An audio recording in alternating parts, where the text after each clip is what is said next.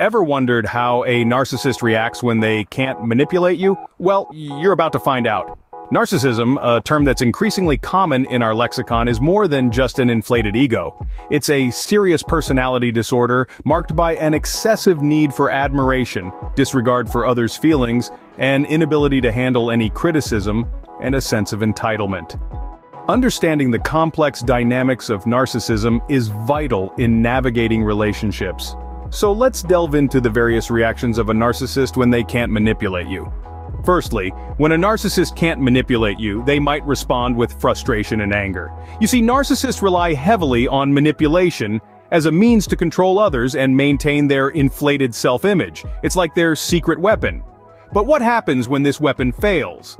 Well, when they meet resistance, they may become frustrated, their anger escalating, sometimes even into aggression. Imagine a child not getting their way and throwing a tantrum.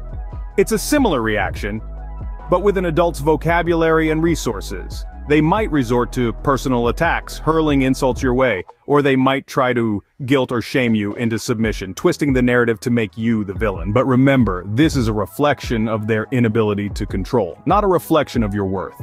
It's their frustration speaking, not their truth. So if a narcissist can't control you, don't be surprised if they lash out.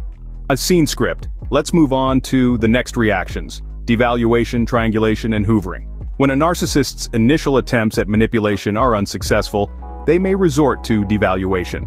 This involves belittling or undermining you to regain a sense of control and superiority. They might call you names, spread rumors about you, or make you feel as if you're insignificant.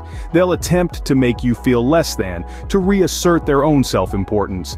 Remember, this is about them and their need for control, not you. Next we have triangulation. This is a strategic move to bring others into the mix to validate their perspective and isolate you. They may spread lies about you to friends, family, or colleagues, trying to turn them against you. By playing people off against each other, they can maintain the illusion of being the misunderstood victim while subtly controlling the narrative. And finally, if devaluation and triangulation don't work, they may resort to hoovering. This is their attempt to suck you back into their world. They may suddenly become charming and apologetic, making grand promises they have no intention of keeping. They'll put on a show of remorse and feigned understanding, all to re-establish a connection with you. But beware, this is often a temporary change of heart, simply another manipulation tactic in their arsenal. These tactics, devaluation, triangulation, and hoovering, are all about control. Control over you, the situation, and the perceptions of others. They're the narcissist's last-ditch attempts to manipulate when their usual tactics have failed. So, how can you counter these tactics? Stay firm in your boundaries. Don't get drawn into their drama. Remember their behavior is about them and their need for control, not about you. Don't take their actions personally. And most importantly, seek support. Remember, you're not alone in this. Be wary of these tactics and remember, they're not about you, they're about the narcissist's need for control. Finally, let's discuss how some narcissists might withdraw and how you can deal with these situations. When the narcissist's manipulation tactics fail, they may resort to withdrawal. This involves avoiding contact or becoming emotionally distant. It's their way of regaining control and protecting their inflated ego from further damage. But remember, their withdrawal is not your fault, it's merely a reflection of their inability to engage in healthy relational dynamics. Now, dealing with a withdrawing narcissist can be challenging, but there are ways to maintain your well-being in these situations. 1. Stay calm and assertive. Resist the temptation to chase after them or get drawn into their drama. 2. Set firm boundaries. Make it clear what you will and will not tolerate.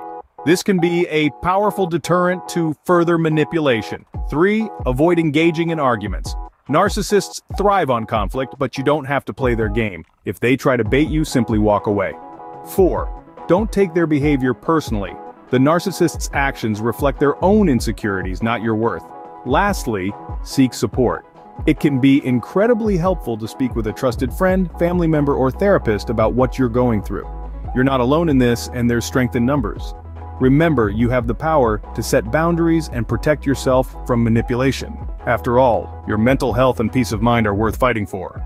So there you have it, the various reactions of narcissists when they can't manipulate you. From frustration and anger to devaluation, triangulation, hoovering, and even withdrawal. Stay strong, assertive, and remember, their behavior is about them, not you. Thanks for watching.